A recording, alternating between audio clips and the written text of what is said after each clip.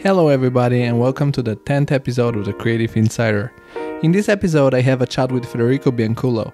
Federico is a young Italian entrepreneur. He has a firm for architectural visualization called the Big Picture Visual, and he has worked for many very important international architectural firms until he decided to go solo and ground his own company in Italy, in Bologna. He is also famous for the Control Z blog, which is very popular among the Italian architectural students. So, yeah, enjoy the talk and welcome to this new episode.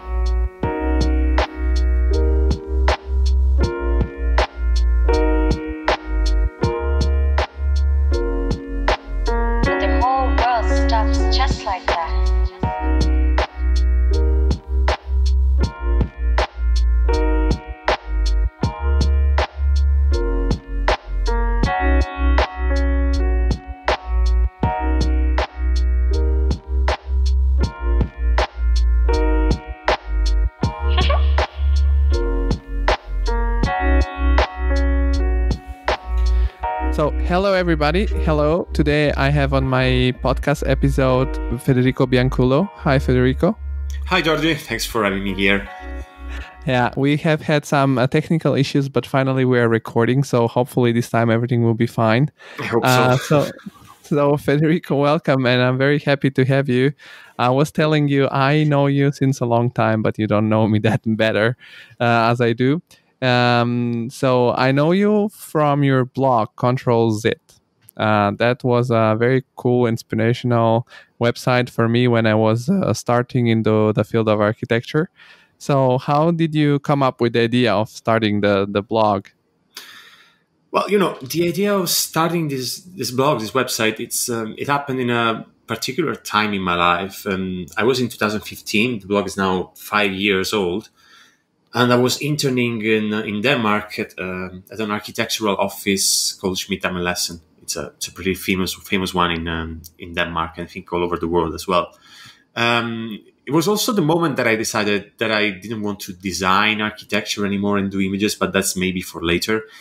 Anyway, I was I was reading a lot about you know open your own blog, maybe having a presence online, branding yourself, even trying to monetize your ideas through a, through a blog. And I was really fascinated by this universe of communication, not just not just of course communication through through blogging, but also communicating architecture through through images, through through diagrams. So there was kind of a natural association for me to to build a blog based upon these these ideas, you know. Um, there was something else as well on on the blog, something that has really marked me, and it, reconnects very well with my with my education. Uh, for me, building my own portfolio was kind of a painful a painful experience because no one has ever told me how to build an architecture portfolio. So I basically didn't want people going through the same pain that I had, and that was the idea behind the blog. Not having people having a reference for for their projects, for their careers when they starting starting out in architecture. So that was the the idea behind, and it was also heavily inspired by another popular uh, international website, which is Visualizing Architecture by Alex Hogrefe. It was a main source of inspiration for, for the blog. Yeah, probably you, you can see that. Uh, Alex Hogrefe is a as well as an architectural visualizer is, a, is American, I think. Uh, I don't. Yeah, it's kind of I think a professor from what I know, but uh, I like the idea that you said about the blog, uh, like avoiding the pain, uh, your your pain to other. Uh, to, to the other people so because this is exactly why i've started this um, podcast uh, uh, to show, first of all, to create sort of um, clarity or guidance for the people who are starting some some sort of creative activity or uh, creative studies.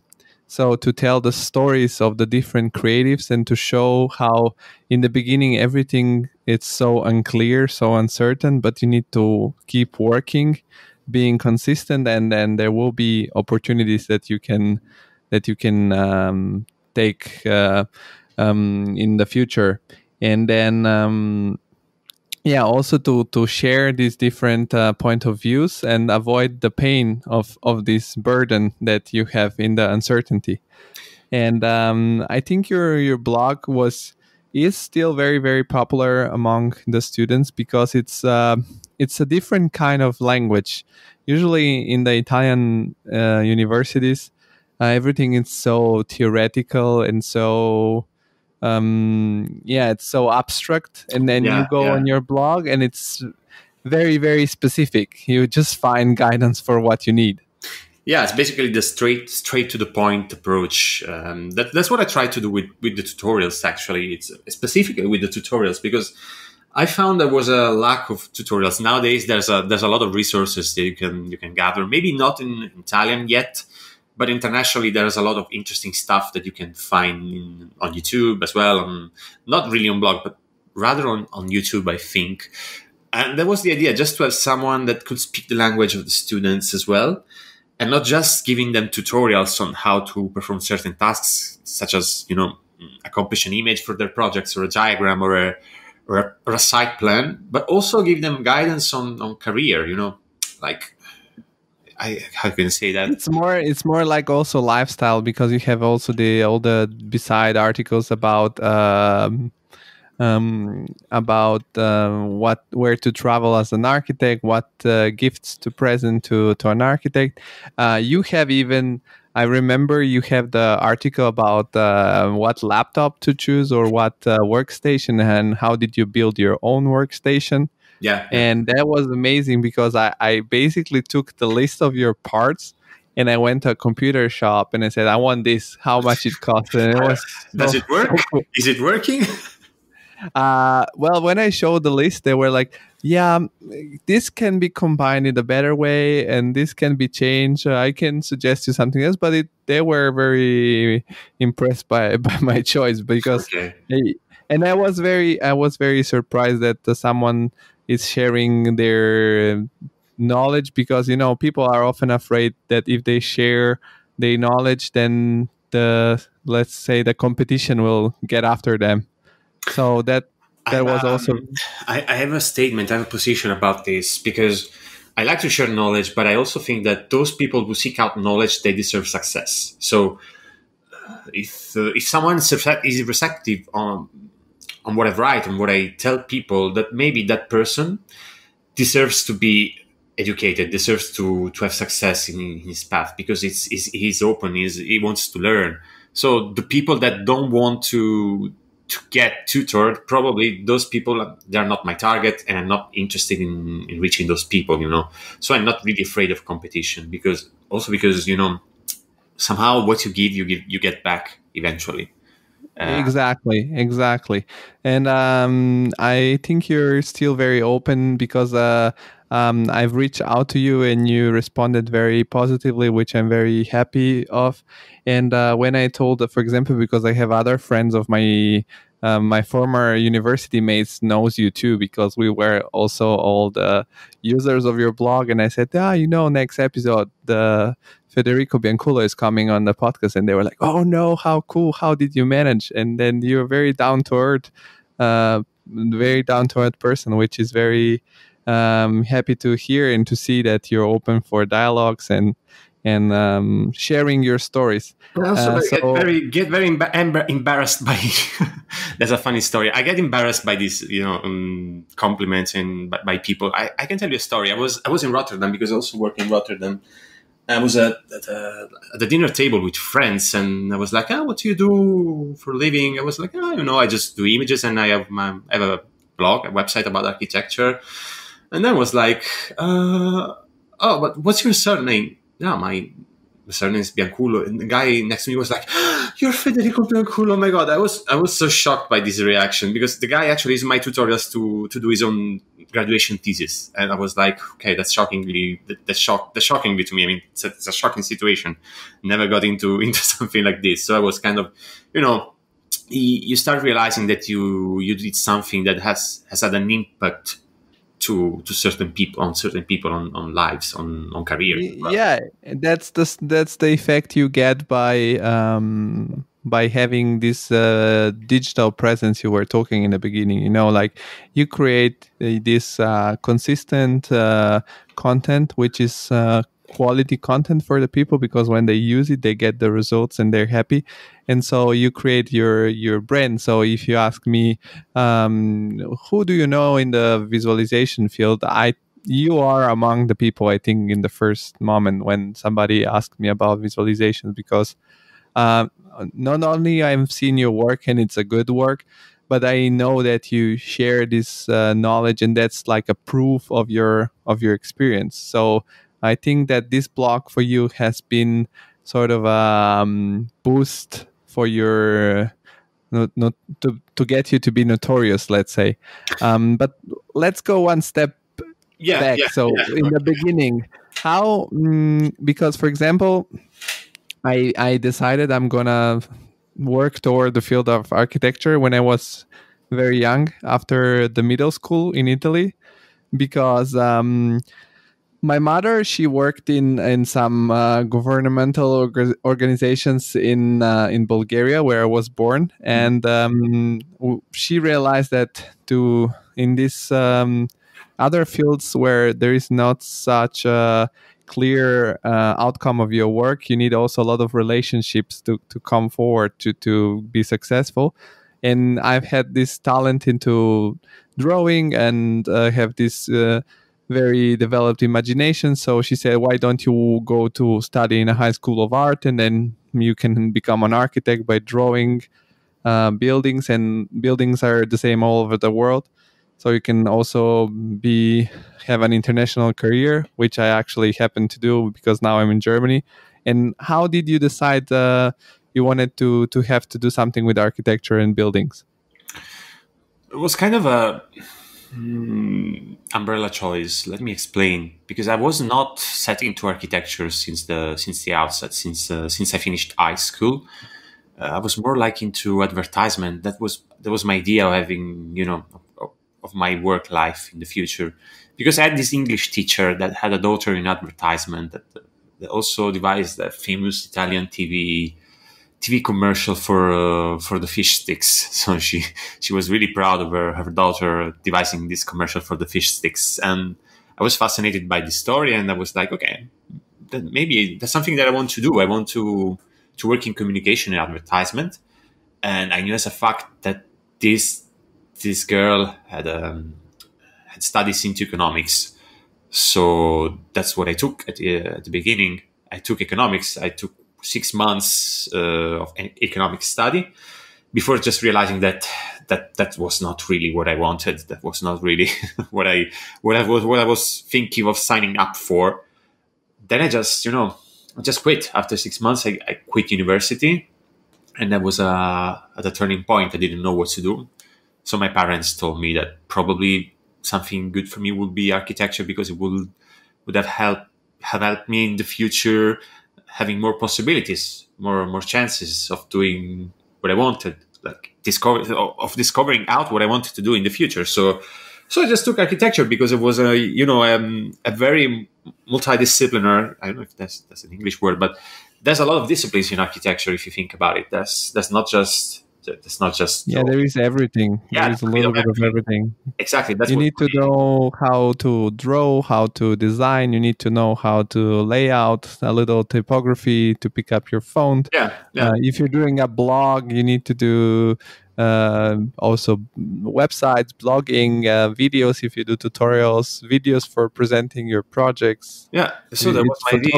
everything. That was my idea you know because yeah maybe architecture can give me a a wide set of skills that I can just use anywhere, anywhere I wish to in the future. So you know, let's just let's just keep going on this road and let's see what happens. That was my that was my I my. And uh, where did you study? In, in which part of Italy? Which university? I studied. I studied in a in a small university in, in the south of Italy, uh, in um, in University of Campania. At the time was Seconda Università degli Studi di Napoli. The, the university was located in uh, in Aversa, which is a, a small city in um, in the north part of Campania.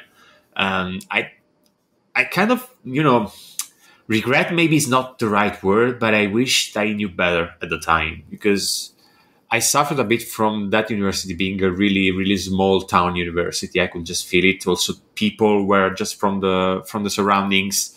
It's not like you know Milan or Venice that you get people from from all over Italy, for example. So it was a very small-minded. Yeah, it, was it was working well. It was not a bad university, but it was really small-minded, not so international.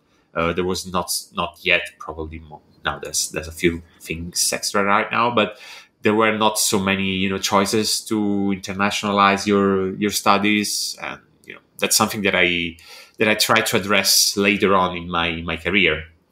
So, but um, I can tell you from my personal experience. For example, I studied in Rome at the University La Sapienza, which is uh, the biggest university in Europe, and uh, it was a huge faculty with a lot of people, and uh, also a lot of people from uh, all around Italy, and there were a lot of Erasmus people, because of course uh, Rome for Erasmus, it's very very you know interesting destination, and uh, but the the amount of people is that big that the professors and the teachers does just don't have that time to dedicate to you as a student or to the students in general. Mm-hmm. so you need to figure out a lot by by yourself.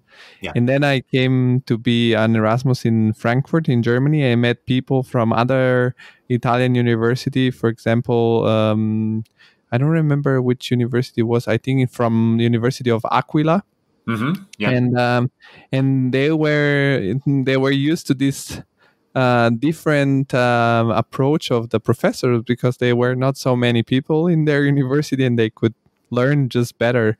So maybe this was an advantage to you if if you didn't even know it like that you were in a yeah, small yeah. university and maybe no, that's something I know for sure. This was one one of the upsides of my choice because the university was small. Maybe the first two years were uh, we had bigger classes, but then from the third year on we had really small workshops, so I could just meet great professors, great uh, get great great teachings, you know, and there was also and, uh, possibilities in there. It was not like something really really bottomless or uh, something really really lost in, in the middle of Campania. There was some actual possibilities, and I tried to to exploit those possibilities as as much as I could. You know. Uh, but for for readers for readers as me of your blog, uh, we know that uh, then your your career and your life turned to be very international. So when when happened this switch from this small university to to moving uh, abroad? How did it happen? Why did you move first abroad? Well, one thing that I wanted to, uh, well, not that I wanted, but I knew for sure about my career is that I didn't want to stay just in Italy, that I wanted to travel. So I was already convinced to, to just go abroad. And then I just asked my my thesis tutor that was really well connected and uh, had an international, you know, at international acquaintances. He's a famous architecture critic in Italy if he could just recommend me to for an internship somewhere. So he recommended me to a few places, and I actually started in Germany, in Berlin. Uh, I was interning for six months at Hutton. Probably you know the you know them since you're yeah I know them. They have a very very interesting building. I live ten minutes away from one of their buildings. Um, yeah. Mm-hmm. yeah, they have these very funny buildings which are um, modular and have one side which is colorful, and the other side, which is ma- mainly glass. So mm-hmm. when you see the building from one side, it looks like this very cor- colorful shape, and on the other side, looks like a lot of buildings that you see around that are just glass buildings. So they are very famous uh, architecture studio there. I think they they work for um, OMA in Rotterdam, and then they become yeah they, also they, partners. Yeah, but in uh, what year you moved to Germany? What year? Uh, 2013. And it, that was the the end of your university studies, or was no, no. My uh, I I finished university in, at the end in December 2012. So it took me six months to get my my first internship. But more than architecture, it's more it was more of a personal thing because I was I, I was in love with the idea of me traveling, of me working abroad. So that's a tricky one because maybe it's not the right way to approach things. Because if you fall in love with the, with an idea rather than on the process or uh, the you learning stuff from from internships it's not gonna go it's not gonna go well. I mean that's something that i discovered later on with with a lot of pain as well. So what what so you had these uh, certain expectations and yeah. when you moved abroad uh, what was different from what you imagined no, I didn't have really expectations on on living and working abroad. I had expectations on myself. Actually, I had expectations of me working in a big office abroad or having international acquaintances, uh, living in a big capital, in a big city in uh, somewhere in northern Europe. So I had all this set of expectations that I put on myself. As for expectations of working abroad, I I came with an open mind to that. I didn't I didn't know what to expect. So I was really, you know, yeah, very open because when I started in Germany, I was I worked for five months on on detailed sheets of a, of a building in Luxembourg, and that's not what I not what I expected. Yeah, probably maybe I expected something. Maybe I expected to work in competitions, you know, or having these fast-paced creative projects, you know, uh, flash images, hectic uh, timelines. Uh, that's not something that I got until like the very last end of my internship in, in Germany and Okay. that was, you know, mm, kind of, you know, uh, I was like, yeah, that's not what I expected. Doing five detail sheets for five months, but I guess it's also part of the part of the job. So that's what kind of my expectations about working into a big architecture office. So you can say, but I'm more interested about the expectations that I put on myself here because that's something that has influenced me a lot later on.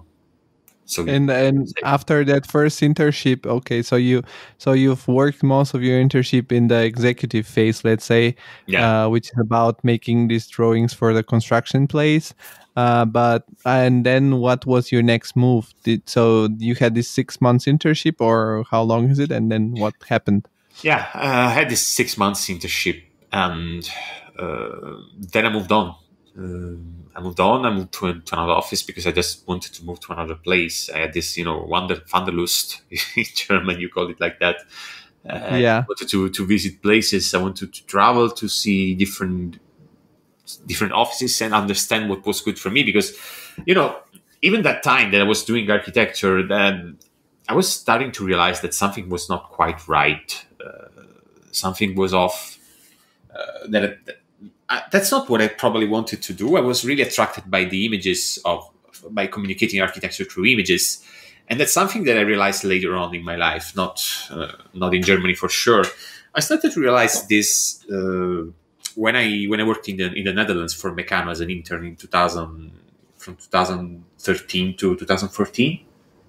Yeah, yeah, that was the time.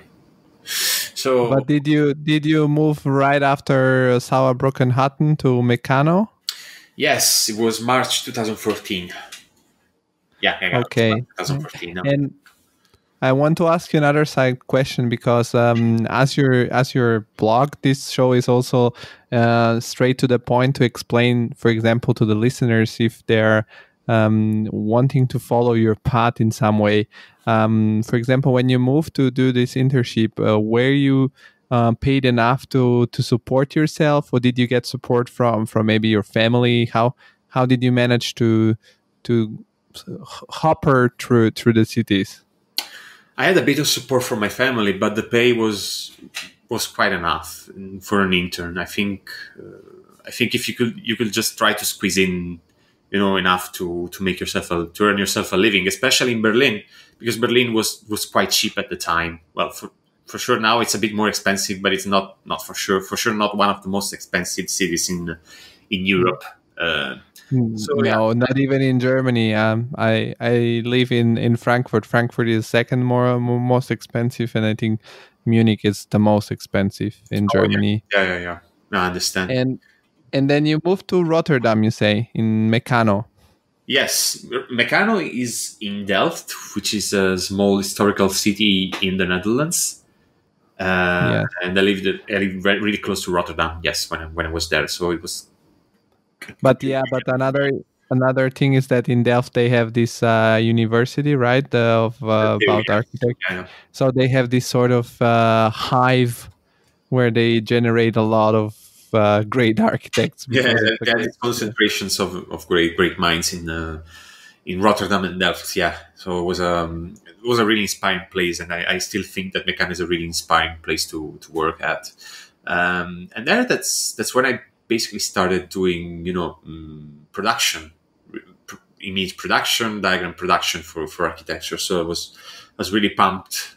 I was really Did you did you did they have uh, their own uh, internal I don't know visualizing uh, team or how it They didn't. No, they didn't have a team. They had a person that was uh, was doing renders, but nothing more than that. So By the way, I want to I want to tell the people 14, so it was um, it was a bit behind in time, and it was not a really organizing. It was just a person that was quite good with, with renders and was just doing the job for them. So it was not not there was not even a preparation on that. It was not no, no formation scheme for that. I want to just tell the people that don't don't know those offices. Like, uh, yeah, I, I like that how you talk about it because you're talking uh, very very easy about it. But uh, this is like if we can compare it, you work for uh, Giorgio Armani and then you work for Dolce Gabbana, and you just talk about it like it's nothing special. but uh, for That's, sure, that- that's an interesting story about that. Maybe I can, we can touch on it later because it goes on. Um, on that, that's that's again the topic of expectations. That's a, that's another interesting story for, for that about big names in architecture. Uh, yeah, but let's go step by step because that's interesting to to do everything. Yes. Yes, and then you started the, this uh, to work more into the competitions field and uh, more in design, and then Not creating. yet, not, not yet, not yet, because even at Mecanoo I was just working on one te- one team on a um, on a project for six months, and it was this hospital, this hospital, uh, this big hospital. I remember, I remember the place, well, uh, close to Amsterdam, but I was really happy to to work with that team because it was a it was a great team. It was a, a great task as well because I was in charge of uh, delivering images for the client. So I was the one preparing the images for for the communication, for the presentations to the to the end client, and I was happy. You know, I was happy of doing that. I was going back home really really satisfied about my job. I was happy with my girlfriend. I was, you know, today I I did this presentation. I I made these images. What do you think about it? So that's when I I started realizing that uh, design probably was something that I was happy to to leave behind. But it's not easy to to realize that because at the time I didn't even know, I didn't knew that um, Archviz was a profession, it was a thing. You know, didn't didn't really know about firms. No, actually, in Germany, I worked on a small competition, and that's when I started discovering about Archviz offices. Uh, so I was starting to get acquainted with the idea, but I was I didn't I didn't know a lot of th- I didn't know a, a lot a lot of things. So it was a really slow process to understand that this could have been a career, this could have been a thing for my life. So it takes time.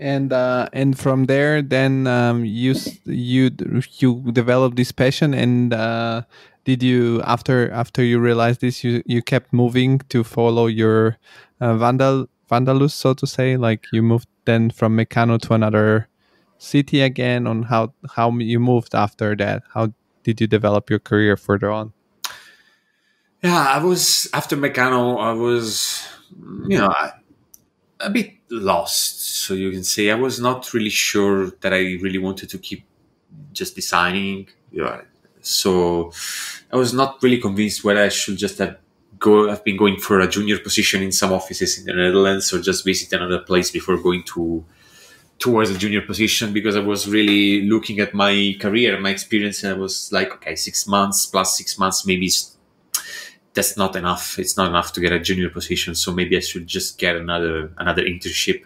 And this time took me took me a while to to get an internship somewhere else. It took me something like four months because there was also uh, was also moving involved. My my parents were moving out of their places, so there was this this event involved, and it took me quite a long time this time to get back into the into into my my career again, into the the work.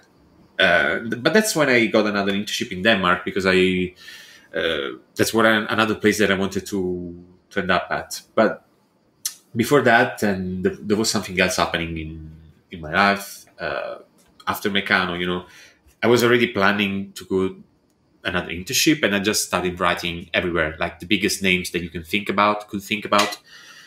I just was writing to them, expecting answers, uh, expecting a response from them. And one day, I was in the Netherlands. I was just towards the end of my internship at Mecanoo, and I just got an email from from New York, from New York, from an office called Bjarke Ingels Group, and they just wanted me for for an internship over there in in New York for okay nine months. So you can imagine how, how shocked was I to, to receive such an email in my inbox. I was like, wow, what's going to happen? Is this real? So going back to the to the to the comparison, Bjarke Ingels Group is probably one of the most significant and relevant architects of, of our time. I can just as big as them because the, their acronym is big. Probably there's just just a few others, for probably three or four other offices as big as them. But it was in New York, you know, so that was an, another turning point because I was really expecting from myself to push to push myself to sacrifice all I could to just go there, stay in New York for nine months, far from from everybody, far, probably far from my girlfriend as well, far from my family, to follow to chase my career. But for what? Then I started to think about it, and that was not for me. That's what that's what I realized because it took me a lot a lot of time, probably years, to realize that I wanted to stay close somehow to my to my roots. I wanted to stay to stay close to to my my beloved ones, and I, I kept chasing that internship, but I was not not so convinced about that because I had this feeling it was not so clear yet. It, it became clear a few years after that event, but you know that that's when I started realizing that probably working for big names, working for uh, for the big players, it's not such a great thing after all, and it's something that came up very late in my in my career. So you can say. I, I can say I, I don't I haven't I haven't worked for such a big uh, names as you did uh, because um, I I was more practical in a sense that I wanted to to to get to go independent as soon as possible. I didn't want to depend on my family, so I I followed rather uh, positions where, of course, I had fun working at, but also that I was getting uh, paid uh, well enough to to be totally independent.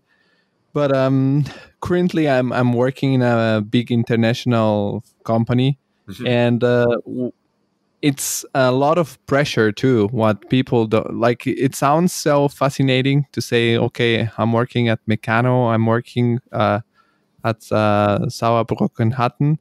But in those company, those are the, the, the, the, best players in, in the league. So you need to perform also a lot, and they have all, always very strict deadlines, a lot of work, a lot of late hours.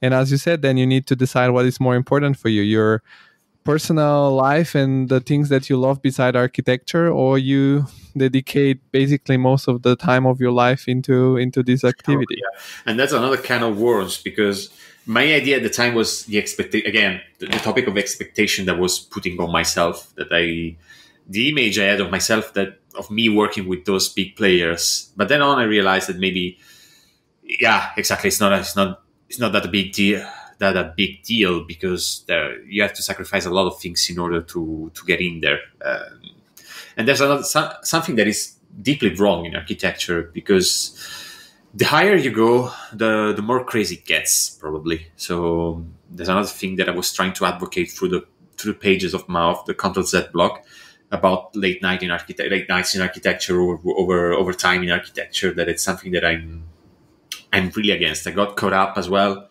through my profession through doing images, but it's something that I'm really against because it, it a lot, not just yourself, but also the the whole industry because you you're expected in architecture to to work late hours, uh, to give yourself mm, completely to competitions to design. Even though if you even though you have a you know interests interests outside architecture, you have a family, maybe you have friends, and you start sacrificing stuff. And it's kind of sad that you see architects hanging out only with architects. You know, it's something that in certain yeah, that's that's yeah. true especially in Rotterdam. I had this circle. Of, yeah, most of them are still I still in touch with them. They're friends, but most of my acquaintances they were architects, and that kind of you know made me think about what kind of life we're we're living in this industry and if it's right.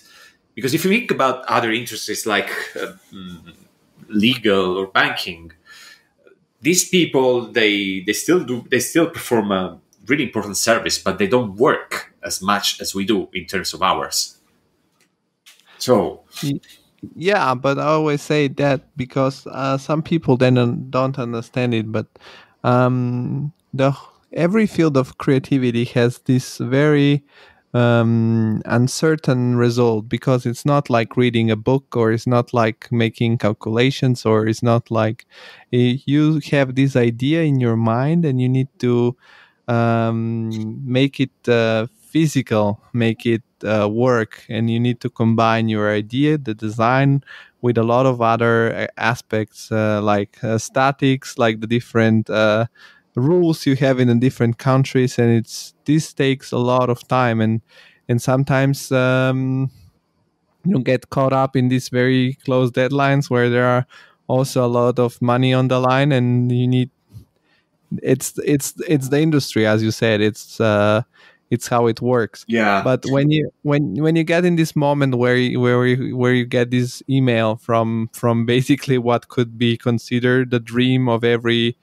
very passionate person person of um, in the architectural field and you realize that um, that it's not for you was that a very disruptive moment where you needed to sort of reassess what what you're gonna do. Yeah, because then, like like you said, you rightly said, maybe I was not such a passionate person about that, and it's kind of hard to come to this realization. It comes later to you. Uh, that's something that I was also seeing in, in university. I was not the type kind of guy uh, devouring newspaper, uh, not newspapers, uh, magazines, architecture magazines. I was not that kind of guy that was just staying, uh, browsing uh, Daily and Architizer and Dezeen. Uh, most of, of the time he, he, was browsing internet. I was not that kind of guy. That made made me think as well that probably I was not a designer after all. Uh, something that not was not my passion. So I was left wondering then what's my passion, and then the the, the answer dawned to me later on when I when I when I terminated, because I terminated my internship in Denmark after a few months, because I was not happy designing, I was happy doing images. And that's coincidentally 2015 when I started the blog. So that's when I when I also accepted that I didn't want to design, that it didn't really matter to to go to the stars, but I, I wanted to do images, nice images. I wanted to communicate architecture. That's that that was my you know my dimension somehow. Uh, and how did you keep working towards? Um, so the next career step was looking for a, a chance to go to develop in that direction, or how did you move further on? Yeah. Uh, I will say that about this, I'm not an example to follow because if I just if I of course everybody says that but if i could just go back in time probably i would do the same very steps because i was convinced that i could just do it somehow on my own but not really because I, I didn't have a network developed. So initially i was set on the idea of doing renders for for students but i never i never got actually to that point because i saw an opportunity popping out at, at Mecanoo again uh, they were open for looking for someone doing images for them, a render artist. And then I just contacted my old team leaders and asking them if there, there was a space for me on that uh, in that area. And eventually I got the job. And I have to say, I was not really prepared. I was really, you know, I was going there blindly, didn't really know yet the craft. I, I don't think I, I know it yet as well. I think I still have a lot to learn, but that time I was really clueless. I mean, there's a software we use in the industry. It's 3D, 3D Studio Max is one of the most widespread, widespread uh, pieces of software used in the industry to do images. And all I knew about that software was just the basic commands when I started my position as a 3D artist at, at Mecanoo. So it was kind of okay. Now I have to start working my, my way up, up, up, and up.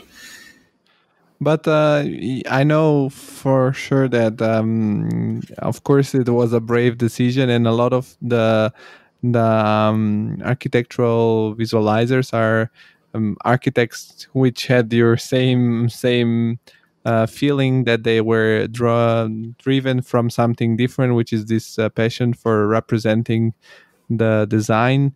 And um, if you have a deep passion about something, uh, no matter how clueless are in the beginning, you're gonna figure it out very quickly because you love it. And when you love something, I think you just dive in into it and you look yeah, for. Um, there's also sort of you know um, uh, being being reckless about this. Probably you you know about the Dunning Kruger curve, you know.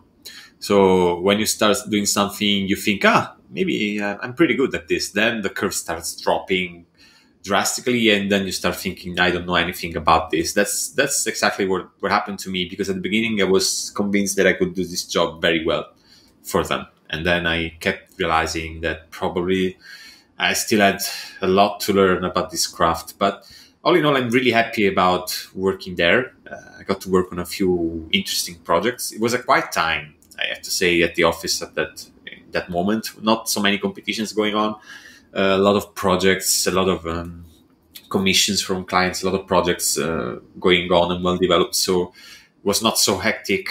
I know as a fact that now it's very hectic, hectic over there.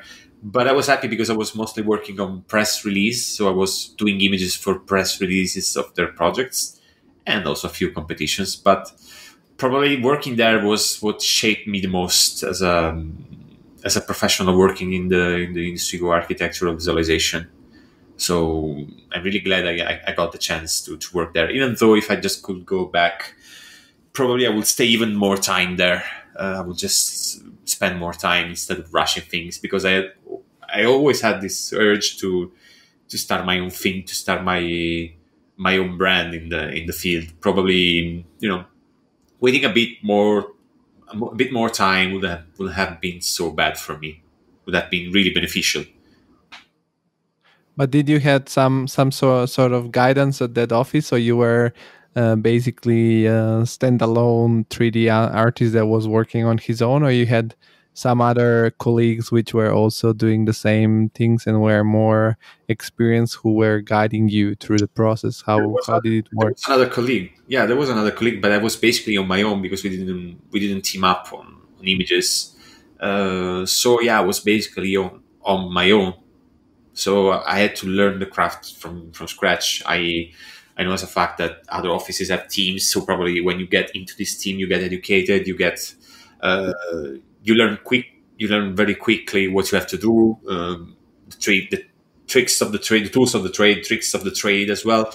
I didn't have all this process, so it was really you know slow, a slow grind for me to to learn all all this stuff. Um, so that's one of the things that I missed in my background. So working for a team, uh, being educated as an architectural visualization artist by someone else that was doing that for for more than me.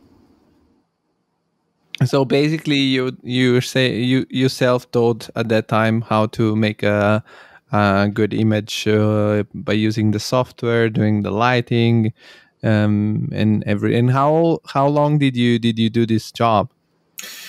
But basically, I think two years. I was there for for two years.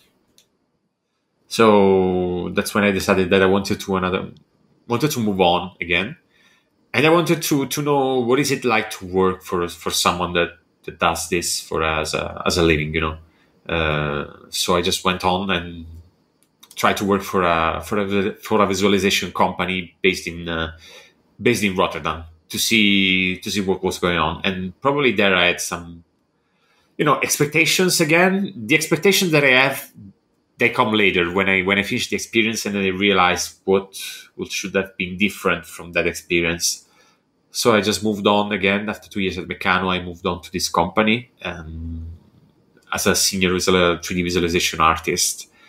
Uh, was an interesting experience for sure. It made me understand uh, a few things about how to do certain things and how not to do other things what you need to be successful in that field.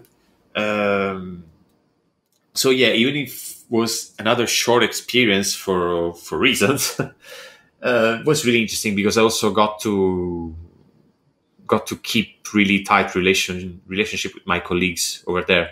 And that's something of one of the best things that i i got from from that that experience yeah. Uh, but then I, I realized very early in that time that being a creative, uh, you cannot just go blindly. You cannot just go full creative. You also have to you have, you need a good grip on on a lot of different stuff on you know your timeline, your budget, your your network. So that's something that yeah, it's a, it's a very complicated yeah. uh, set of uh, set of skills and set of abilities you need to have, and that's also something very hard because, as you said, in in the industry you work a lot of hours and then you get drained to to to the point where you don't care that much about uh, planning your your relationship, your network, and yeah. that can be a little frustrating for someone that wants to build also this yeah set. sometimes you just get you know you just get in the mindset of we just have to get this done uh, we have to do as much as possible for clients we have to do as much as possible uh, take as many, as many requests as possible but you have to really plan carefully what you're what you're gonna do with with your brand uh, because it's not just about producing images anymore. Well, it has never been about producing images, just producing images. There's a, there's a lot of things at play, and I wish that I, I could just have more more insight on these topics when I when I spent my time in this this visualization office in Rotterdam because I was producing images, but I didn't have much insight on these processes of of client communication. Basically, no one told me how to properly communicate with the client how to to make you know quotes for renderings so that's something else that i i really had to to improvise and come up with my for myself of course basically. Yeah it's something that uh, you need to discover from the beginning and then yeah. you go to somewhere someone that has already done it so you can s- steal that process by by just working there. A, li- a little bit, uh, get a bit inspired rather than stealing, even though I didn't. It's I, positive stealing. I mean, yeah, yeah of yeah. course. I had the hint that there was this thing, there was these things in the field, but I didn't have, you know, the grasp on it. I, I just had this feeling that there was something else, but I didn't have someone on my side tell me, tell me how to, you know, communicate with a client, how to to improve myself in communication. Everything was really frenetical, was really hectic. Everything was really rushed somehow. Uh, something some sometimes very dysfunctional as well. Most of the time, I have to say, was dysfunctional. Uh, it was not it's not an easy place to work at, but it's uh, it paid off eventually. It paid off, so still happy about about that. And uh, then that was basically the end of your time in in Rotterdam. Then you yeah. moved on yeah, I moved on. Um, you, you moved on to Denmark then? What, what no, came after? there? I just took the choice to to move back to Italy because it was it was 2017 at the time. After the two year two year two years at uh, in Rotterdam, I thought that maybe you know the expat life uh, was not really what I wanted. Uh, it was already for four years that I was moving back and forth, so it was time for me to move to move on to a different stage of my life and try to do something something on my own.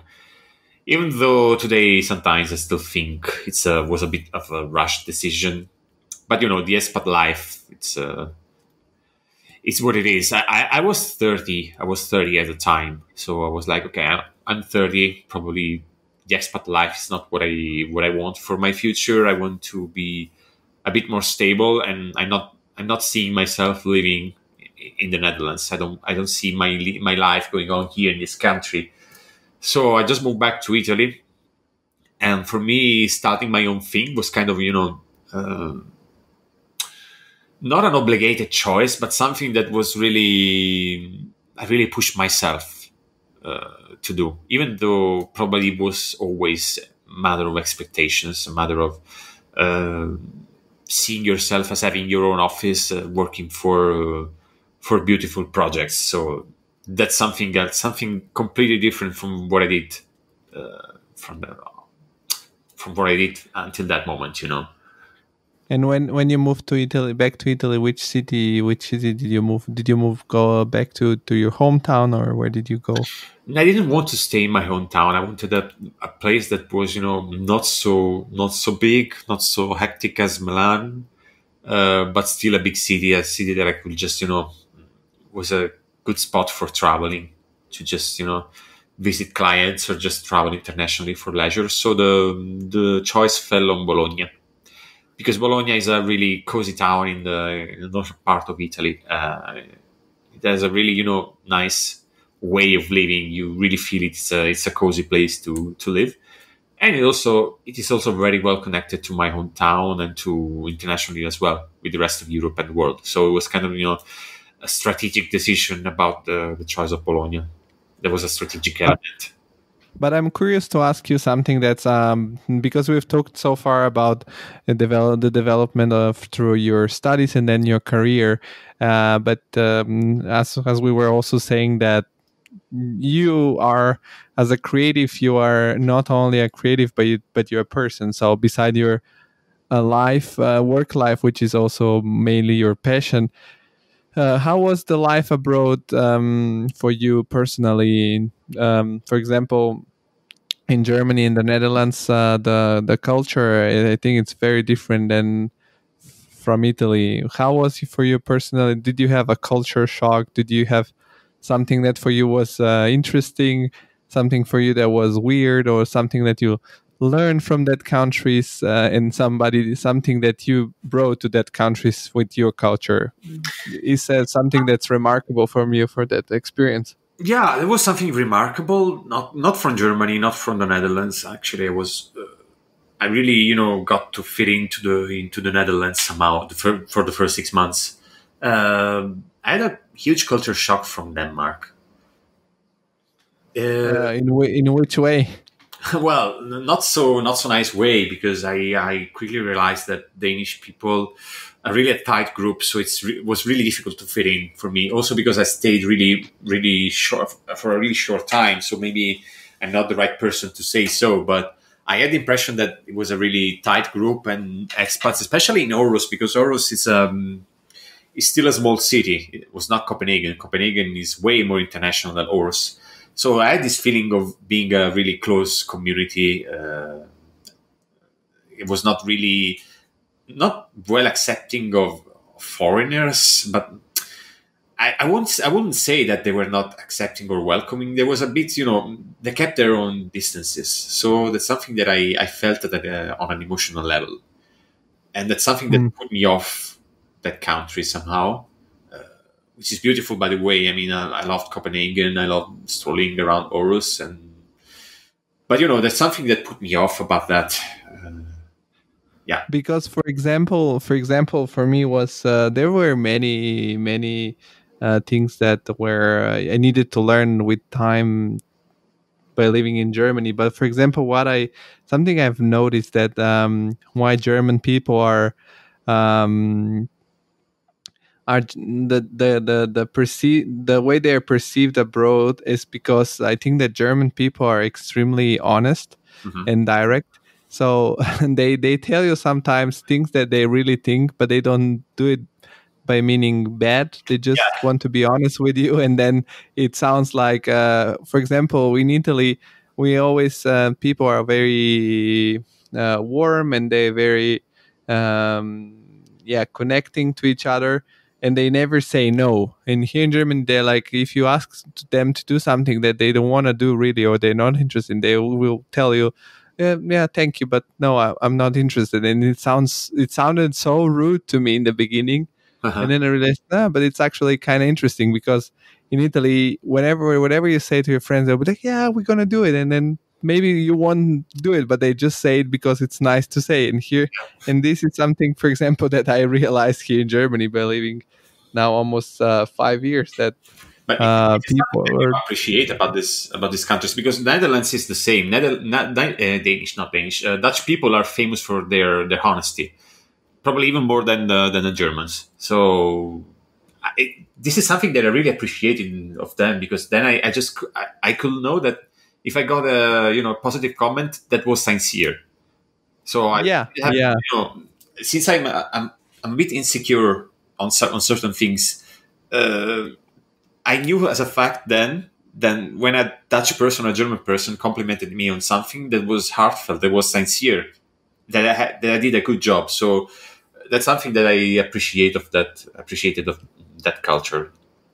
And um, I I want to to give you props here to another point because uh, you had the courage to to to drop uh, your job in in uh, the Netherlands and go back to Italy and uh, start start something on your own in in your in your home country where where it's not so easy to start something on your own. And a lot of people are afraid but i think that it's uh, so cool that you you gather this whole uh, collection of knowledge from from from all over the the from all over europe in countries with such a different uh, background. And then you went back to bologna and then it's there where the big picture started? Yeah that's when that's when i started with the big picture yes. And so, so, the big picture for the people who doesn't know it's not just a way of saying the big picture it's uh the name of your company right? Yeah it's the name of my of my brand. For a long time i was just being myself behind the behind this brand now. There's a person that helps me regularly on projects and we i'm trying to develop um, a network of, of freelancers because you know italy is nice and whole. It's nice to live here. It's but it's difficult to to scale up a, a business especially in this field in italy especially if you work with italian clients. Now i work with italian clients as well but what they do is mostly abroad. So it's not it's not really the case. It's it gets easier when you're Italian and, and you work for foreign companies or companies that work abroad. I have to say. But how? Um, so you you grounded this company. So basically, um, it's uh, what what did you need to? Did you start working from from home when you started? Uh, because basically, what you need for doing visualization is a good workstation. And your softwares and and then you need a space where to, to sit and work on. That's what i'm still doing. I mean i started working from home from my office uh, home office because i have a, a room that is a is my own office so i have my setup. And i still do it. This year was the year that i had to move. So I, there, there was plan to move into an office on a, on a co-working or doing something like this in bologna probably this has not happened for obvious reasons for covid-19 of course so i'm i'm still here and probably working this time from home kind of helped me to to be prepared uh, for this challenge that came. So i'm i'm already set up for for working from home. Uh, all the big projects that we did they were all did remotely uh, with my with my collaborators from home. So we're already you know set up for for this kind of future if this kind of future is going to happen. So, and and what kind um i'm just out of curiosity so that we give an idea to to the listeners of what it takes for so you worked uh, you said four years or five years abroad? Yeah. Or something like yeah. and then did you save something and then with what uh, you can tell me roughly what kind of investment you needed to do this to set up your firm. Well kind of money investment of course you need uh, to plan to plan ahead. Of course you need a good workstation probably you start need considering but like, we can get very technical here because then you have choices about uh, whether to build a render farm in house or having remote you know going with a remote farm course there's hardware the workstation as i was saying there's licenses the cost of licenses. So uh, startup capital was 10 10k something like that if you're going to yeah because also you have to plan that maybe there will be a little i don't know uh, in the beginning or you had already uh yeah that's sort of portfolio of clients already or we can or you were ready also to, to we can to, go over and over the place with this topic because of course when you start on your own you cannot just rely on uh, on capital uh, of your studio but you just also need a you know a buffer for yourself because when you go freelancing or you're in your own company you're just not guaranteed to get clients from the outset. So you have to to put aside some money to to prepare for for months, months without work. Uh, I had the I had the fortune of working with clients since the since the beginning, since day zero, basically of my of my endeavor. So that was kind of you know lucky as well. Uh, kind of building a network in the Netherlands before I left. Uh, even though I think that could have been better, I could have built much more a wider, a much wider network if I stayed more. But yeah, mm, that's where that's something very important that people have to realize about opening their own company is that two things actually. One, you cannot just go straight thinking that work is going to, to rain on you and then you have to to get a buffer for yourself to live on your own. and you have to spend time on, on building your relationship. That's the two main things because, and you have to plan time to do that because clients are not gonna reach reach out to you, especially if you're starting out. I still have, you know, right now I'm in this situation because uh, the COVID nineteen has changed some things for me. I I started to work less with certain clients. I'm starting uh, to work more and to to get more towards another type of client. So right now I'm starting to do active, you know, uh, client acquisition. That's something that I, I never really had to need to do so far because work was was coming anyway. So you have to plan about this, and that's something that I didn't really do because I didn't feel the need to. But if you want to build an office, if you want to build a company, you also have to plan these acquisition activities. You have to plan research and development activities. You have to plan days that you in which you plan your finances and you, just do communication. So it's not just about production of images, but it's uh, there's a lot of things. There's also social media as well, which is another another another whole story, another another thing that takes a lot a lot time, a lot of time. That's something that I realized lately that I was you know trying to do my own social media and I, I couldn't do it anymore because it was too too tiresome. It took me too much time.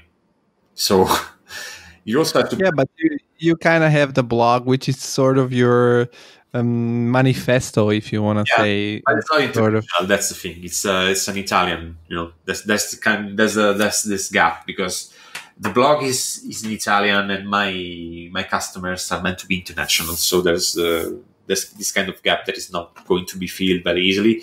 And the blog due to the to my to me trying to to tend to my office the blog went dormant for a couple of years. Probably you noticed that. But luckily i found a really great guy luca that's now helping me with the articles and with the reorganizing the the blog and we started all over again so we started publishing new articles new topics and probably this is going this is going to to increase in the, the next few months with with more plans also to to bring it as a side activity, set aside hustle probably. I, I was thinking when when because for example you had this uh, this platform your blog where you announced uh, that the big picture is set up and I was uh, when I when I when I read that news I was excited because um, I, I went to the um, to the website I often I often go to to website like yours to to get inspiration for for my own projects and for the projects I work on. And um, I, I was thinking maybe maybe the big picture will in, englobe the the control z block, and that there will be this um, side of the the the website that will be your professional one. And then the big the the, the control z blog will be integrated sort of like okay this is when we do it for for you and this is how you can learn from us. Um, but it states uh, it it got some rebranding recently. I noticed that that you refreshed um, the whole branding of the blog. Yeah it was and, not so um, probably was one year ago already but yeah it's uh was a refresh of the website it was due because the, the blog was felt very very old uh, so we, we really needed to to rebrand the whole thing. Uh, yeah. So why why the dog? The dog, yeah, uh, that's something that never, actually no, but nobody never asked me about the logo of the blog. Probably it's the first time I talk about it because you know I associate the dog with being the best friend uh, of, man. So the the idea, the motto of the blog is the best the, the best friend of the architect. So that's hence the dog. You know, that was the the idea behind having this companion because I, I think I think it's also an awesome idea. It's never in you have never obvious ideas. I I like a lot of the the, the articles you write and, and the points of view you, you the different perspectives you you put on on um, on different topics. And um, I was one. I was. Um, I wanted to ask you because, for example, you've you when you go through the the website of the big picture, you have these uh, just astonishing pictures they look awesome they they have this amazing uh, storytelling and um, they create this certain atmosphere and um, but what i was wondering I, i've seen among your clients you have also um, maybe what is currently one of the most famous italian architects um, which is uh, the studio boeri stefano boeri Um, how did you how did you get got to be known from such a firm, and how did you land them as a as a client? Or if you if you can share a little bit more about that story. There's another coincidence because in, at the time when I was working in uh, in Rotterdam with this visualization office, uh, we got this project. It was my final project at the, the office, actually, and was this big development in, uh, in Utrecht, uh, Wonderwoods. This, this this tower, these two towers in, in Wonderwoods. At the time, was just a tender, so it was a competition. And then when we got to know who were the, you know, it works like this in the industry. Um, you got contacted. Well, that's how it worked because the um, the CEO of the office was very well connected. With, is very well connected with, with developers in the Netherlands. So this is how it worked. Um, the CEO of the visualization company got contacted by by the developers for this tender, and then afterwards, just afterwards, we discovered who the architects uh, the architects were. One was MVSA Architects, uh, Amsterdam-based firm, and the other one was Stefano Boeri Architects uh, in Italy, or Milan, of course. So you know, there was me and another friend of mine, Marco Stecca, who is working at uh, another office in in, in Amsterdam, Prolog uh, were the two of us working for a for a Dutch firm on a on a project by an Italian architect. So it was a funny story. Uh, he was doing the 3D 360 images. I was doing the still images, and so at the end of project, uh, And I, no, not not not him, but the, the office and I were we kept in touch. And then when I when I just left the office, I let them know that I was just starting my own office, and they just contacted me for for other vertical forests and other other other buildings. You know, so that that's how it, it got started, basically. Yeah, it's uh, an interesting story. I think that, uh, for example, when you um, I noticed that uh, when I came here in in Frankfurt, uh, because here it's uh, the um, the city. It's not so big as people think usually but there is this um, the, there is a lot of uh, going and there, there is a lot going on in the uh, in this in the industry because a lot is being built and um, there is the German uh, Museum of Architecture so they do the um, the high rise prize every two year so they they give the prize to the best high rise in the world and um, they gave it to Boeri and uh, a few and then after Boeri big wanted Bjarke Ingels group. So I got to meet uh, Bjarke Ingels once. I've talked to him because um, he was here for the opening of the skyscraper they built in in uh, in Frankfurt, mm-hmm. and um, there were also some of his partners. Uh, so if you start, I think that when you start working in the field and you try to dig more and more and more and more, you get you get contacts to these big names. It's people who have these idols usually, but the reality is that th- those are also people, and you just need to to to dig into the field and uh, work. And there, the the field is not so big in the end of the day. I think. No, no, especially if you work in a city like uh, Rotterdam, for example. You were mentioning Frankfurt. I can mention you Rotterdam. Parties were, yeah. were just a mix of architects coming from different offices that that what parties were in, in my in my time in Rotterdam. So it's it's easy to to get contacts it's, if you stay long enough. So yes, it's uh, it's a small world. Uh, there's a lot of you know. I also but I've I've seen that you've been also very active on the visualization uh, scene. Uh, for example, you've you went to the D2 conference, which is one of the main uh, conferences about uh, uh, CG architecture and um, also you have partnership with the the, the school in Venice, uh, the what is called the academy there. No, it was not a partnership. I just attended a attended a master class in uh, in Venice. Their like month program, the State of Art Academy. Probably you yeah, the State of Art Academy. So you you've you've uh, attended their class. When when did you attend their class? It was end of 2015, summer of 2015. Yeah. And uh, do you think there was a big uh, a big shift for you also in your uh, being more self-conscious about what you do when when you work, or did that help you a lot to to put your your skill set It helped, me, on it helped me for sure because um, it helped me giving me confirmations about things that I already had done so so far that, so far at that time. It was a confirmation of doing certain things in a certain way. So it was good for me to see the pros do what I'm doing. So probably I'm doing good things. Uh, of course, state of art mm, teaches a lot of things, taught me a lot of things, but most of what I, I learned there I had to readapt it and shift it to my my workflow because at that time probably they they're changing this, but at, at the time the final project so I was a really small uh, a really small building, a cabin in in a, bespoke environment, so to say. So you had to design also the environment for your cabin. So it, it was something really different from what I'm doing right now. Um, it's something that you cannot easily translate to that scale. Uh, we do, you know, with the big picture, we do medium to large scale projects, also master plan, like very large master plans, towers, mixed use.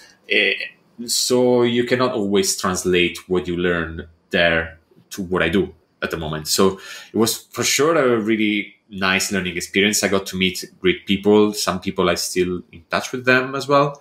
Um, probably is a really good experience for people who are fresh starting out in the field. Probably for people that already have some experience, could be interesting uh, depending on your background, so to say. And um, I wanted to ask you because, uh, for example, I've, I, a lot of a lot of the architectural office they have no real um, clue about uh, ArchiViz and uh, in the offices I've been working, they didn't have this clear idea about what they they wanted from an image, and they were just you know wanted to have a nice image. So I've tried to to get them into collaborating with other more famous offices. And uh, for example, I remember we contacted. Um, I think the Spanish firm, the Beauty and the Bit, something like this and um, they, for example, send back uh, an email. They say uh, they said something like, um, "Okay, you give us your project. We need a 3D model, and we will uh, create the imagery, but uh, we will be in charge of how it's gonna look like." Mm-hmm. So they say, "Okay, we're gonna set up the." the the mood like the, I don't remember if they said the mood, but if we say, okay, we want a uh, image which is uh, sunny and which is uh, with a friendly weather, they they know that, but they will take care about the composition. How do you um, keep your your brand quality with your clients? Are you sometimes uh, asked from your clients to do an image that you wouldn't do? Hmm. on your own or how if, if you have this issue? You know i try to to get it on um on a really collaborative level with my clients i'm really open to to their inputs. Of course i want to retain a certain integrity to my to my work a certain quality. So that's what we do as well. We we give some some some ideas to our clients at the beginning of a project when we have a you know a reasonable complete uh, set of information and 3d model so once we have that, we start working on it and we just dish out a lot of ideas, different ideas for camera composition and atmosphere. So the client has a set of choices that he can just pick from. Sometimes uh, it's it should be really good to clarify this to client and tell them, okay, these are the choices and we have to go forward with, this. Sometimes client think they can can just change the sketch um, after they pick them so that that's a process I'm still streamlining, but that's more or less the way that I the way that I wanted to go. Of course, sometimes it, it still happens to to do an image that you don't you don't really like because the client really needs that image. You try to do it your best. I mean, you try to advise your clients uh, on the reasons why that image, the way he wants he wants it, it, it doesn't work. So probably in that case, I will just try to still do what they they propose, but to also my own version, just to get them compared. and, and how usually the how usually the process looks like? Do you have, uh, for example, when you receive an assignment? Uh, do you create first a couple of perspectives you think are working well or a mood board about the, the lighting um, what is if you can explain more about your your process, not in a technical way, but more into how Yeah, you sure. proceed to create this atmosphere because um, i have to i mean i can tell you for sure as someone that's uh, in the field that a lot of the images you have uh, posted on on on your um, as um, on your portfolio let's say on the big picture visual they're very very iconic images uh, they have this very um, this, they have this character but it's not always the same. You kind of bring out uh, a stronger character from from the projects you're designing uh, you're representing. So i was curious how is your uh, let's say soft skill um, method when you start from the perspectives how you you create the mood and yeah. What i do is just try to go very organically in a project uh, so if i get a, a, finished set of information i just set up everything that i need to set up and i just try to explore you know. I just go around like a like a photographer in the in the outfield. So just the only thing I, I just do it in the 3d software. So i just go around the project and try nice nice angles. Uh, sometimes i still do it. I, I do it with projects that are already finished. I try to uh, to get new angles out of what I already did. Probably I, I will try to improve things, but that's what I basically do. I just go around the project and I try to set up uh, different lighting conditions, different different atmospheres to see how the building reacts in uh, at a certain time of the day, of the year, in a certain light. Um, so we try to explore options, and we and we do it. We just when, for example, when we are on two uh, two people on the same project, uh, we just exchange ideas. We do our own sketches, so to call them drafts. Um, we call them concepts. We do the first concepts. Um, we compare them and we choose what to what to send to the client. What are the strongest concepts that we we could propose for for the project?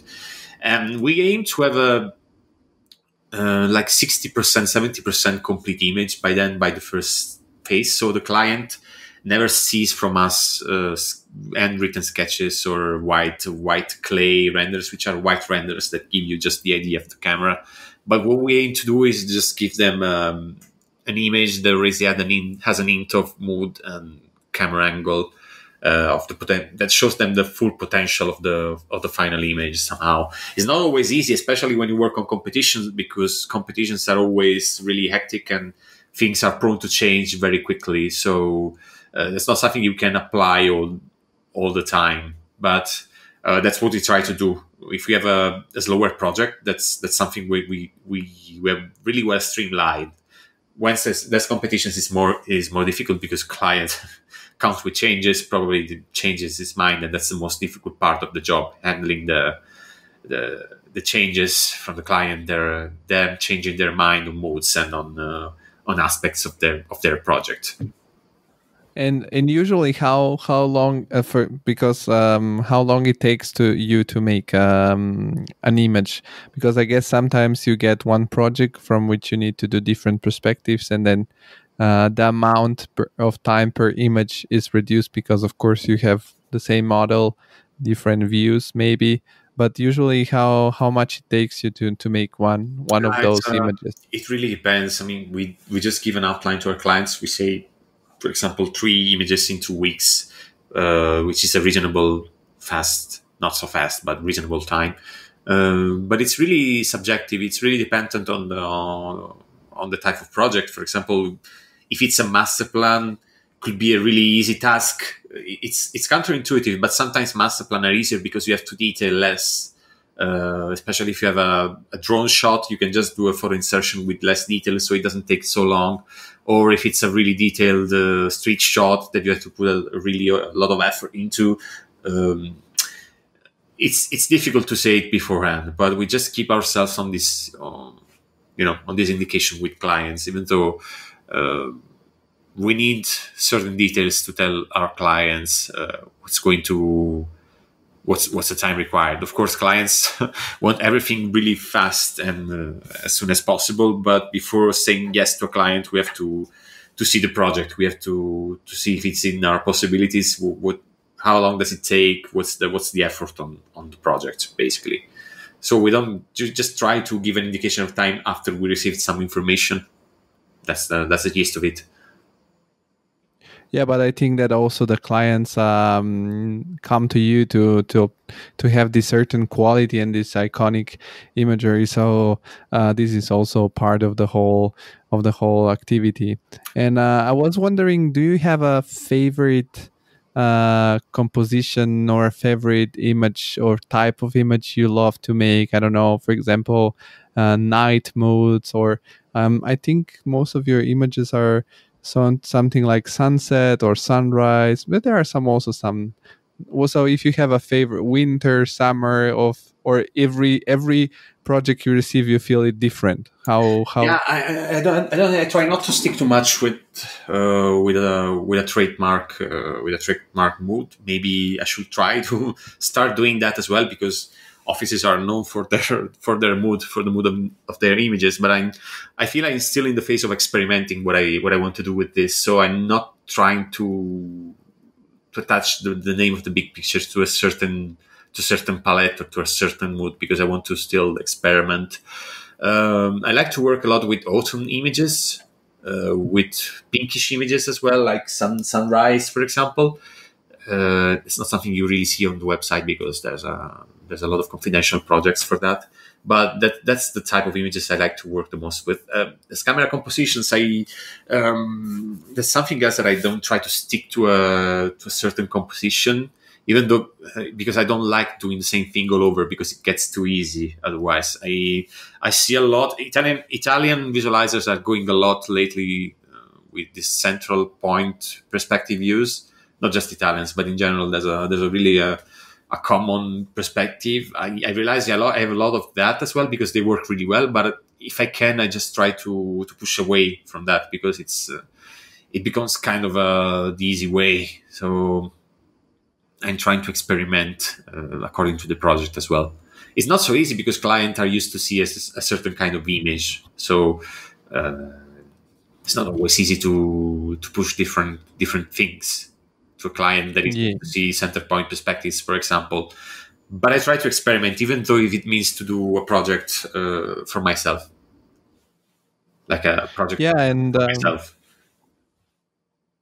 But uh, because, for example, I've read somewhere in some uh, articles or interview, uh, or I've heard an interview with um, founders of Mir, Mir is uh, for the people who doesn't who don't know. It's uh, basically one of the most famous uh, visualization companies because they do these very very hyper realistic images.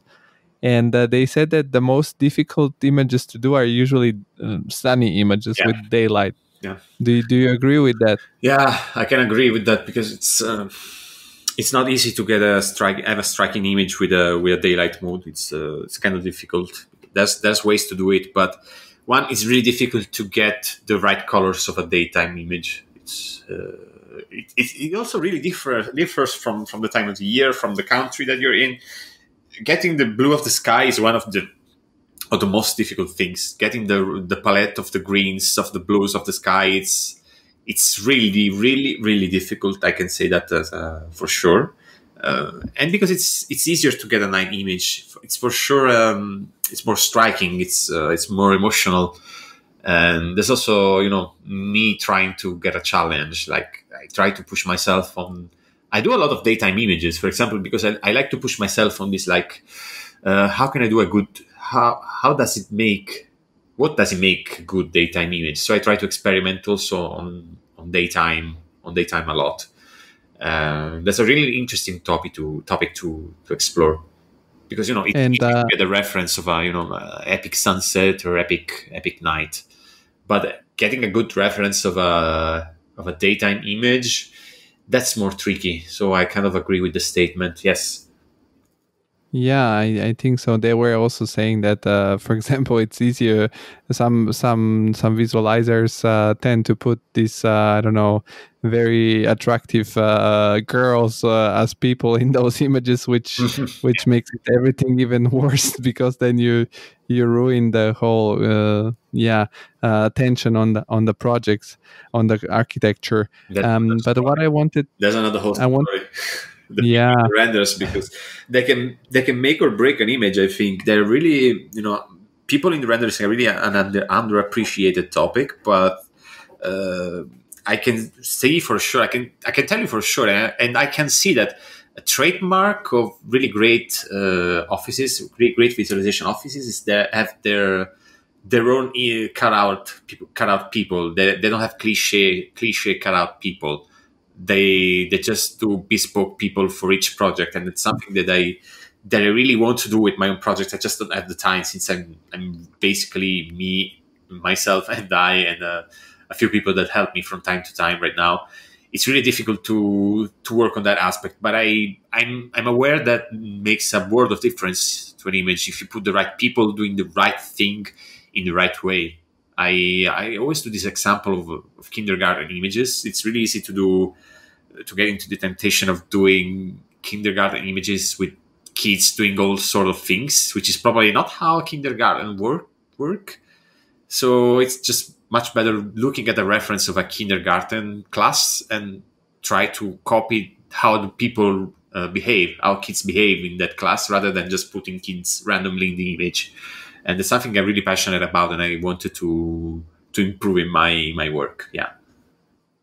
My my personal way to evaluate a good image is so when I look at the image, uh, it's, when it's a still image, uh, and you look at it, um, it uh, feels if it's a good image you you can connect to a story to the image and imagine the image moving. Because i see that a lot in a lot of your also in your images that, that you have on the website that you can put yourself in the image and imagine a story and a, in a story being inside the image. You see this park and you see people playing and you can imagine that maybe you're going to that park uh, on the weekend or you see a winter image in a in a big city with a lot of traffic and you think about you when you're in the winter you know trying to to hurry up to to go in a in a safe place. So i think that's um that's something that you completely nail very well in your imagery. But um, I wanted to ask you because recently I've been often contacted uh, on on social media from people coming from the most exotic countries on the world asking me because they see I'm an architect and they contact me and tell me, yeah, we are um, an office in, I don't know, somewhere China. We do a lot of images and we can make you these images for, for I don't know, thousand euros or something. Um, do you have an issue with that? Do you have um, because uh, due also to COVID, do you um, are you afraid that the the um, the pricing you you have to compete with will get lower and lower, or how? What is your opinion on that topic? Uh, yeah, that's a, that's a hot topic. I try not to have a strong opinion on that, you know, because I just try to see how things evolve. Uh, I also think that pricing is very subjective to to a client because you know if you manage to build a strong relationship, a strong bond with your client, and the client trusts what you do rather than mm, wanting just the, the product, then that's where you, when you have no price, you you, you just no, you don't have a price tag.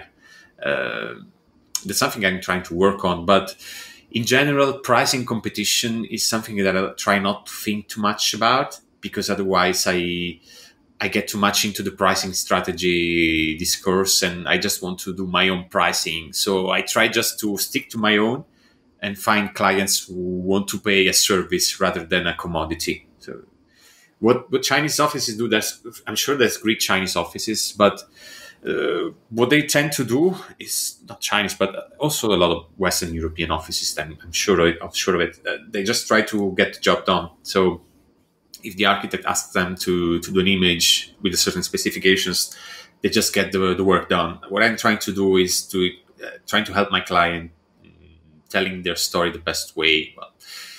Well, the motto, the mission of the big picture is bridging the gap between audience and, and architecture because I'm I'm really convinced that uh, renders images render images are a great way to to market architecture to people that don't speak the language of architects and I also believe that architecture visualizers, um, because of their background, they're experts in in communicating architecture through this medium, and and architects should should get a bit less, you know, mm, a bit less micromanaging on this aspect. So if you can get this uh, into your workflow, into your process, and you you become a consultant uh, and ally to your client, that's when you you stop worrying about pricing and and you start thinking about how to help your clients. So I try to leave the pricing issue to those people that offer images as a commodity.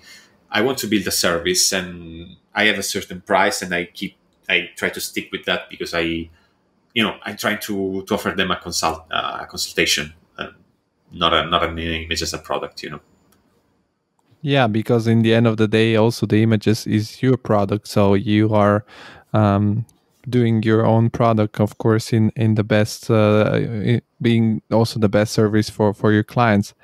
Um also another thing so, because images nowadays are easier and easier to to get. Even even architects in house they can get reasonably good images with uh, real-time rendering softwares like enscape for revit for example or sketchup. Probably you know about enscape right? It's a it's we we have it at the office yeah. i think so I, hear from a lot of offices that I speak to that they use Enscape to for client communication, and that's that's all right. I mean, uh, for certain uses, it's all right. But if you want, you know, a, a communication strategy, a visual strategist for a project, uh, that's that's where good good architectural visualization companies should come in. So I think that in the long run, uh, art-based companies would don't offer a a consultancy that offer a, strat- a visual strategy service somehow they don't include this. Sooner or later they're they're uh, they're doomed to to end because images uh, are starting to get a widespread product. Uh, architects are will be very soon able to do reasonably good images in no time. So those companies that offer the image as a as a commodity will will surely start having troubles soon yeah, I think that they will survive in, in the countries where uh, keeping the prices low is sustainable because uh, we know that in Western Europe, whatever you're sitting, you need to have uh, uh, every every software needs to be licensed and you need to pay taxes. So it won't be sustainable if the market um, goes too low. But I think that your point of view with the um, strategy, uh, image uh, representation strategy or visual strategy, it's a very interesting point of view, and uh, that's a it's a very good insight you just you just said there. Because um, I I have my girlfriend, she's a, a brand strategist, and I think that uh, that could that's something that could transition into architecture through through the good visualization companies they would there's a lot of firms that are already starting to doing this. I see firms that offer uh, you know integrated strategies for uh, for construction companies for example that they they don't just do the image but they of course they do the animations they do the real time they maybe also do the the website. Uh, they're uh, you know they offer a package of services they're, they're no longer just visualization companies. They they they become something else and that's something that really fascinates fascinates me as well as a, a market you know niche so to say. It's not easy of course because you have to to get a lot of contacts you have to address certain people um, but it's something really fascinating that, that i would like to explore sooner or later. Yeah i'm very i'm very curious to see how it's uh, how we, how you will develop it and how it's gonna develop. Uh, for sure i'm gonna keep following your blog your your company because uh, you are a great uh, source of inspiration for for your uh, fellow uh, architects and designers. And um, especially you've you've helped me even if you didn't know a lot through my through my studies and through my career. Happy to hear. So um, I want to I want to thank you for for accepting uh, to spend some of your uh, weekend time on on this very friendly chat and where you gave a lot of interesting uh, stories of your life and of your points of view, which are which are sort of showing why you got where you are. And um, I'm glad that there are people like you, and I hope there will be more and more after they listen to our conversation. Uh, uh, as I told you in the beginning of the conversation, uh, also I want to give uh, this platform to people to their to to tell their stories and uh, where could um, if you want to shout out once uh, one more time where people can find more about you or ask you questions if they're curious to know more about you after this conversation? Well, of course, there's a there's my blog, which is Control Z, the Control Z blog, Control uh, CTRL uh, hyphen Z.it, which is uh, just in Italian, and of course, there's the the website of my studio, which is bigpicturevisual.com, uh, which is of course the website for my image making activity, and that's the two main outlets. Of course, over there you you find you find my contacts if you want if you want to get in touch, even just to say hi and you know, just a strike a conversation. I'm all up for it. So feel free to to to get in touch. Yeah, thank thank you very much, Federico, one more time for being on the show, and thank you to the listeners to to have uh, listened this conversation, and keep also supporting the podcast by following the podcast on the usual social media, which is Instagram. It's at TCI Podcast, uh, the Facebook page, the Creative Insider, and the LinkedIn page, The Creative Insider. And people, yeah, follow Federico, follow his work, and I hope uh, you enjoyed this conversation. Thank you, Federico, and um, bye bye. Thank you so much. Bye.